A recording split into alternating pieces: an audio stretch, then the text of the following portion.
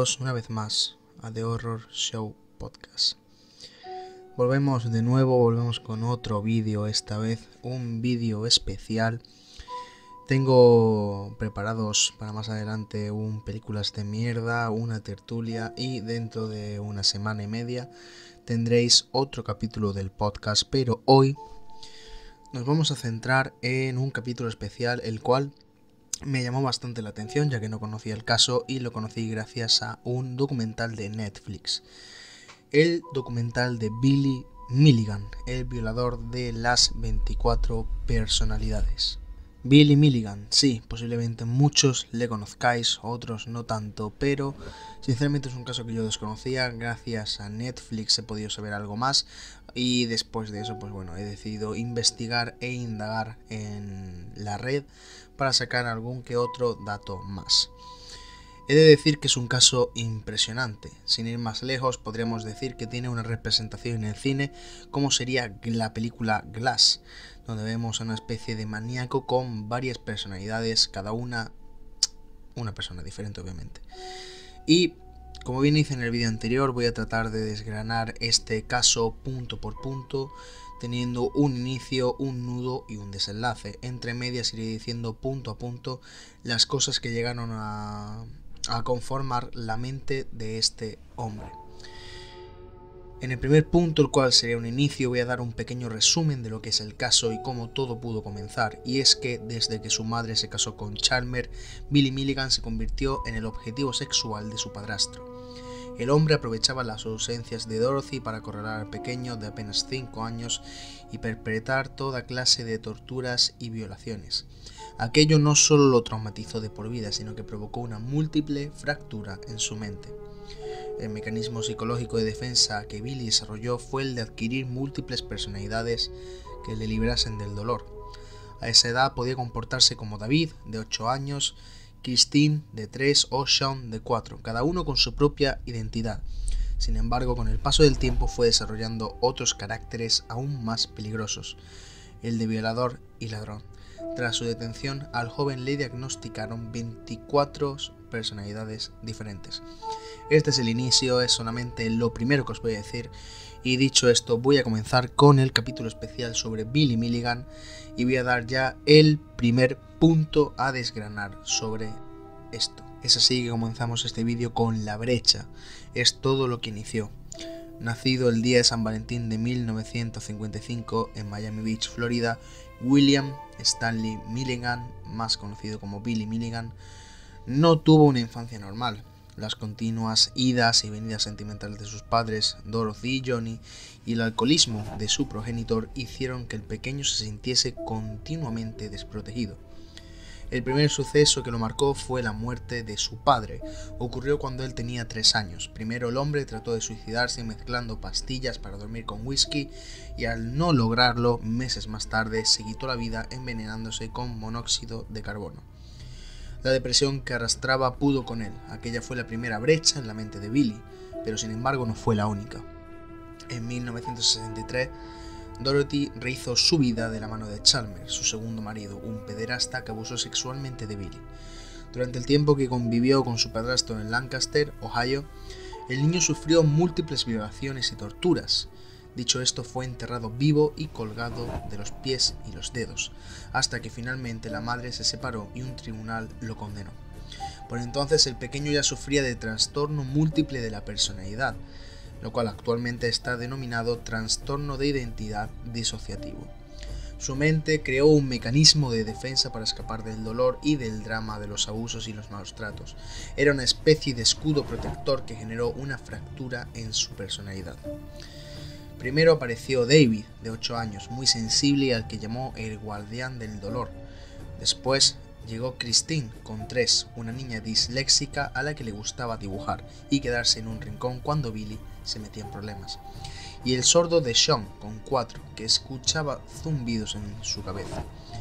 Estas tres identidades emergieron en Billy a partir de los 5 años. Poco más se sabe de su infancia realmente y adolescencia, salvo que a medida que nacían distintos personajes, el yo principal mermaba terreno y también memoria. No recordaba en quién se convertía ni lo que había hecho el día anterior. Así perdió numerosos trabajos, amistades e incluso parejas sentimentales que desconocían que estaban ante un verdadero Jekyll y Mr. Hyde. Aquí he de decir un par de cosas y sinceramente que creo que estamos ante el primer caso, bueno, no el primero, eh, gran mayoría de este tipo de psicópatas que, bueno, que vemos cómo su mente se disocia completamente. Creo que estamos, por una parte, ante la primera persona que, a pesar de estar mal de la cabeza, porque recordamos que tiene un desorden disociativo de la personalidad, eh, al principio ese desorden no era algo malo. Al principio ese desorden cuando comenzó era simplemente para protegerse de un mal, pero poco a poco, al tener que seguir emergiendo toda esa parte fuera para no tener que vivir el dolor de un padrastro pederasta que abusaba de ti, y para colmo una madre que con tal de no perder a esa persona hacía la vista gorda, pues sinceramente es normal que poco a poco todo llegara a romperse más aún de lo que ya estaba roto. Dicho esto, paso con el segundo punto que sería eh, la delincuencia sexual. Y es que mientras que algunas de sus identidades se exhibían pacíficas, otras tiraban por el camino de la delincuencia. Así fue como Billy en 1975 se transformó en todo un criminal y fue encarcelado en la institución correccional de Libanon, en Ohio, al cometer una violación y un robo a mano armada a principios de 1977 un par de años después lo pusieron en libertad condicional tras registrarlo como delincuente sexual sin que nadie sospechase el cóctel de temperamentos que llevaba dentro. Llegó octubre y Billy empezó a deambular por el campus de la Universidad Estatal de Ohio en busca de nuevas víctimas. En un breve intervalo de tiempo secuestró y violó a tres mujeres que lograron identificarlo, pero cuando describieron el comportamiento de su agresor, nada de lo que decían cuadraba con Billy. Mientras que una mujer aseguraba que tenía acento extranjero, otra dijo que actuó con excesiva amabilidad pese a violarla. Y la última, que el susodicho la hablaba como si fuese una niña de tres años. Estaban ante un caso desconcertante.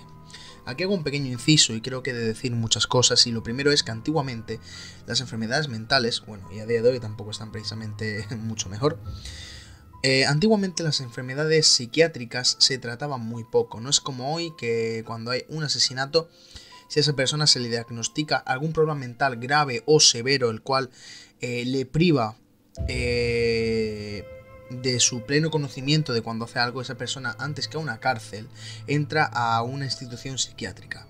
¿Cuál es el problema? Que este hombre dijo en varias entrevistas, bueno, dijo en el momento de la violación, dijo que él no recordaba haber hecho eso creo que en su momento él ni siquiera conocía eh, el problema que tenía.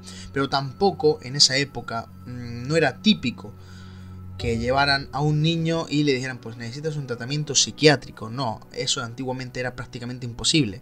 A día de hoy está un poquito más eh, consensuado, un poco más visto, pero no tanto. Dicho esto, también podemos decir que estamos ante el primer fallo, eh, porque ya de por sí si algún psiquiatra o si alguien hubiera entrado de lleno cuando Billy comenzó a tener esos trastornos mentales, quizá no, habríamos, no estaríamos hablando de este caso. Dicho esto, corto el inciso y continúo. Y es decir, que cuando las autoridades capturaron a Milligan, destacaron que su comportamiento era errático y singular. Lo mismo se mostraba dócil y tranquilo que agresivo y violento, a veces escribía con la mano izquierda, otras veces con la derecha, en ocasiones tenía acento eslavo, otras alemán, inglés. Es como si las distintas personalidades de Billy surgieran cuando le eran más útiles. Permaneció en la penitenciaría estatal de Ohio por los cargos de secuestro, robo agravado y violación hasta que se le realizaron los exámenes psicológicos pertinentes. Los distintos estudios confirmaron que el joven padecía esquizofrenia aguda y un trastorno de personalidad múltiple. Es decir, los expertos detectaron que existían dos o más personalidades en Billy, provocado como un mecanismo de defensa ante un trauma generado por un abuso sexual o físico muy grande. A raíz de esto, la persona fragmentaría su psique para poder sobrellevar su trauma. Bien, por lo menos vemos que ya cuando comenzó a agravarse el asunto, por lo menos comenzaron a tenerlo como un enfermo mental. Eh, como tal, se le diagnostica esquizofrenia y un trastorno de personalidad múltiple, pero en ese informe solamente se redacta que Billy tenía dos o más personalidades, pero sin embargo no se llega a redactar que son casi 24. Dicho esto, podemos empezar a ver que también el sistema de eh, médico eh, tampoco era muy bollante. Sinceramente, con ese tipo de cosas, en el primer caso de violación que tiene, si se hubieran realizado las pruebas psiquiátricas, eh, habría entrado en una institución psiquiátrica y no habría ocurrido más, pero bueno. Dejando eso de lado, vamos al tercer punto que son los 10. Con estos informes, los abogados de Milligan, Gary Squayhart y Jaddy Stevenson respaldaron su defensa en el trastorno mental que padecía su patrocinado para que lo trasladasen a un hospital psiquiátrico. Esto es lo que yo llevo diciendo un rato antes. Sinceramente, si esto se hubiese hecho desde el primer momento, posiblemente no habríamos vivido lo que se vivió más adelante. Continúo.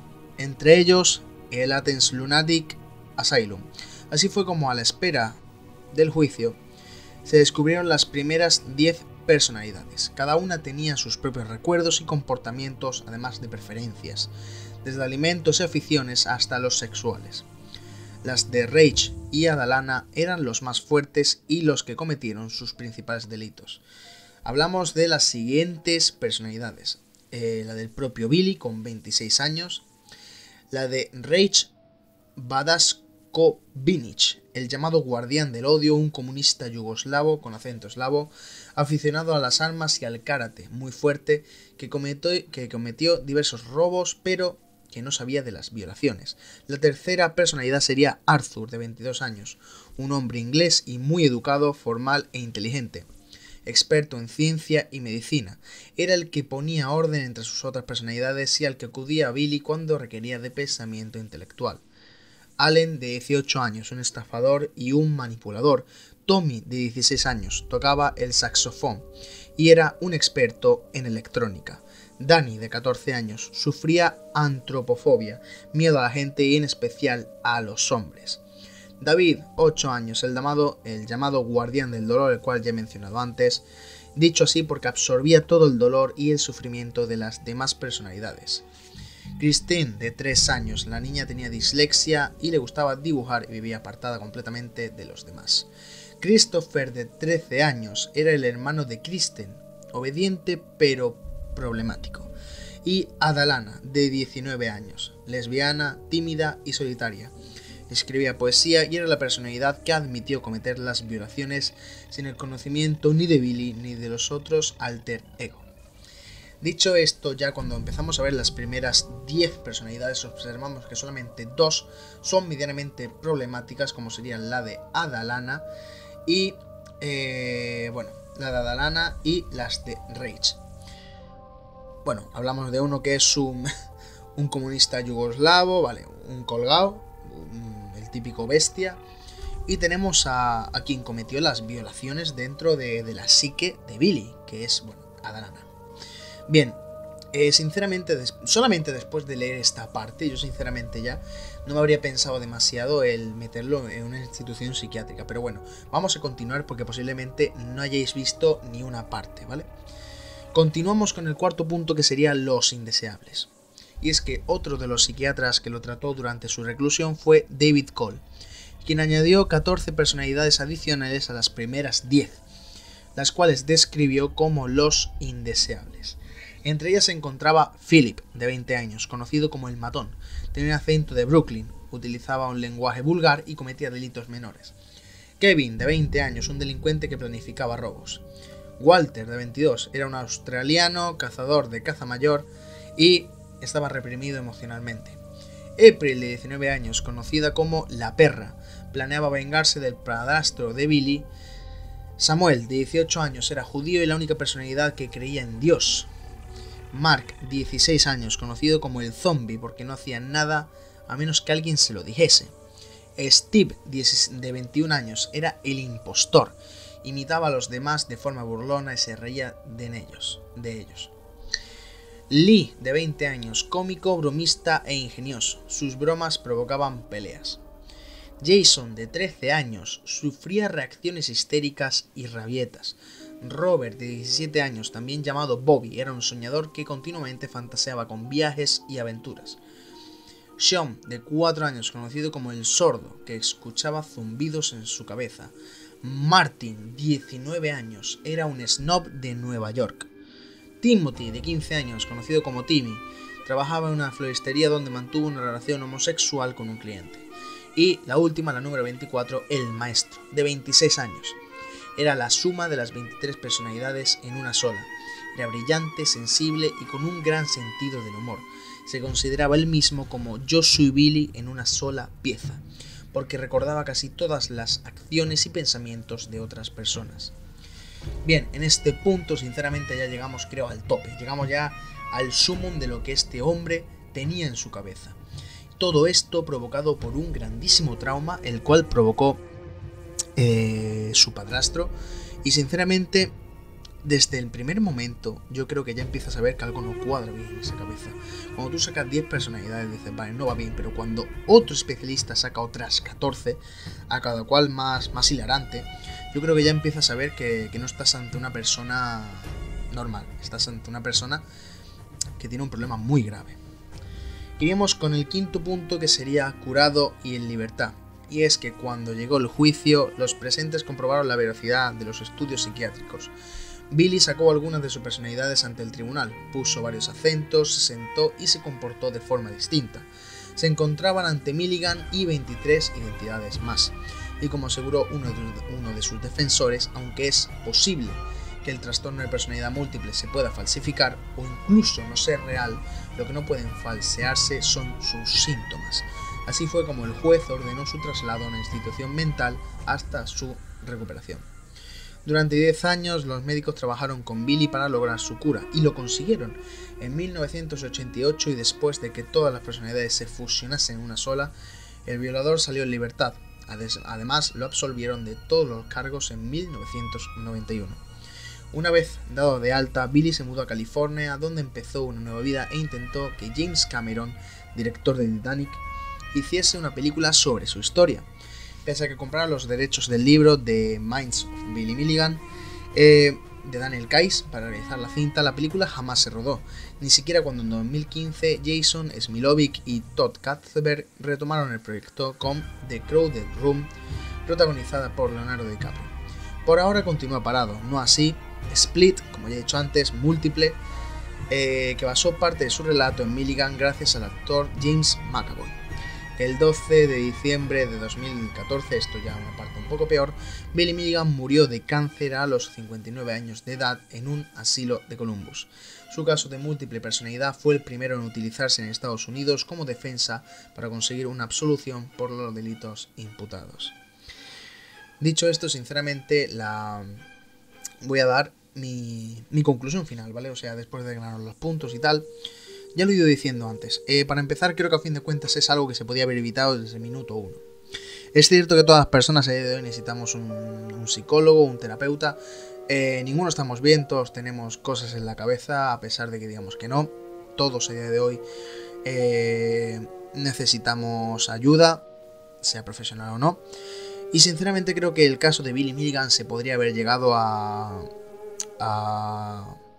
bueno, se podría haber llegado a evitar. ¿Cómo diréis? Bueno, en el momento en el que él ve morir a su padre, eh, yo creo que ya es un, clic, ¿vale? Es un toque en su psique y eso ya empieza solamente a, abrir la, la, grieta. Pero el momento en el que ves que tu madre rehace su vida, que la rehace con una persona horrenda, una persona que abusa de ti, que te maltrata, y que directamente te condiciona la vida al hacer lo que te hace, eso ya no es directamente expandir la grieta, eso es directamente abrir con las manos y romper completamente todo. Creo que en ese punto es cuando todo comienza a, deteriorarse, cuando todo empieza a volverse loco y sobre todo, para más, Inri, cuando ves que tu madre no hace nada por ayudarte, cuando tú se lo dices y ella hace oídos sordos. Yo creo que en ese momento ya es como el abandono completo de decir, nadie me va a creer, ni siquiera mi propia madre, y en ese momento, entre lo que ya estás roto por lo que te hacen, más ver que tu, tu progenitora, la persona que te ha parido, no, no te quiere ayudar, pues en ese momento creo que es cuando todo se rompe completamente en la cabeza de, Billy Milligan, de Billy Milligan y solamente era cuestión de tiempo y, y, de que se dieran las situaciones de que ocurriera algo como lo que ocurrió. Eh, sinceramente, es impresionante. Es impresionante como la mente humana, para evitar el dolor, puede hacer tantas cosas, puede aislarse de tal manera, pero sinceramente, a pesar de ello, eh, creo que también, por ejemplo, se podría haber evitado la muerte de esas tres chicas, bueno, la muerte no, las violaciones de, esas tres chicas, ya que en el primer momento en el que él comete el primer delito sexual, sinceramente se le tendría que haber hecho ya algún examen psicológico. Eh, porque dudo, si, si, ya lo registras y, pasa tiempo en el calabozo, has tenido que hablar con él, has tenido que ver que no es una persona normal, has tenido que ver que esa persona tiene más personalidades de las normales. Y en ese momento lo que tienes que hacer es mandarlo directamente a un examen psicológico. Si se hubiera hecho desde el primer momento, sinceramente te ahorras pues mmm, todo lo que viene después. Sin embargo, el que no se hiciera, pues bueno, por una parte, eh, solamente atrasó lo inevitable que era que lo mandaran a una institución psiquiátrica hasta que se recuperase. Poco más que decir, sinceramente me, parece un caso impresionante eh, por la parte peliculera que toma y sobre todo por ver cómo la mente hace con nosotros lo que quiere, ¿no? Hace con nosotros eh, cualquier cosa hasta el punto, bueno, de, de, querer protegerte a protegerte y protegerte de forma que acabe por protegerte acabe completamente rompiendo tu, cabeza. Pero bueno, eso es todo en el vídeo de hoy. Espero que os haya gustado este capítulo especial sobre el caso de Billy Milligan. Eh, posiblemente dentro de una semana, semana y media tendréis el podcast de este mes. Y bueno, espero que os haya gustado este vídeo, que os haya gustado el anterior. Eh, dentro de poco volverán eh, las tertulias del horror, volverán las películas de mierda, volverá algún que otro top, volverá el vídeo de recomendación. Y dicho esto, como siempre digo, The Horror Show Podcast se despide, pero no sin antes deciros que vigiléis muy bien cada pequeño rincón de vuestro cuarto, ya que puede ser que cuando apaguéis las luces antes de iros a dormir, alguien os vigile. Esto ha sido todo y nos vemos en el próximo vídeo.